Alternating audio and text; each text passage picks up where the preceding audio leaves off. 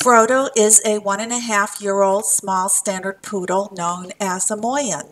He is here today for an e-collar evaluation. It is reported that he had a one-time bad experience with a bark collar. He has no prior e-collar training and has not been on a wireless fence. Frodo's past training includes two group classes. Frodo's two-week board and train will start in July.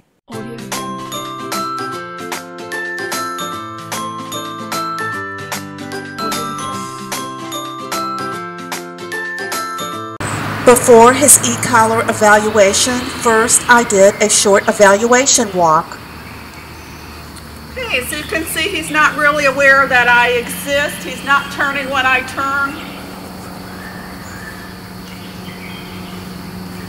I don't see him checking in with me.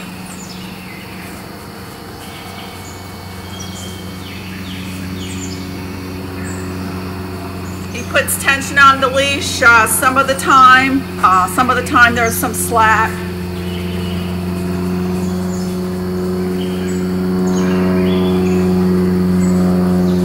Okay, check and see if he knows the heel command. Frodo heel.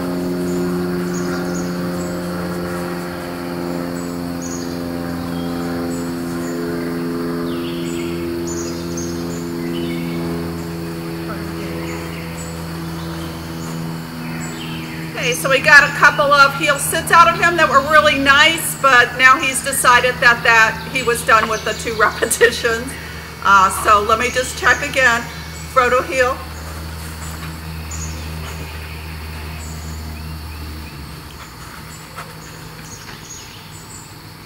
Okay, so he sees a distraction, so we didn't get a sit out of that.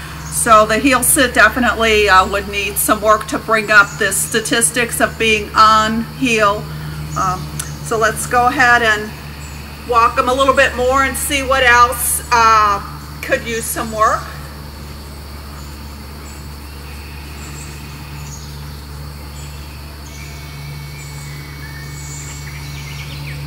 Okay, so he's following his nose, he's digging in his feet um, to stay on the particular scent that he found. So that uh, can use some work. That's just awareness uh, that there is somebody else at the other end of the leash. Frodo's e-collar evaluation has begun. He is wearing a Sport Dog 1825 set on mode 1, the lowest static stimulation. He is working on number 1 on the dial. Note how he is aware I'm at the other end of the leash and he's looking up at me.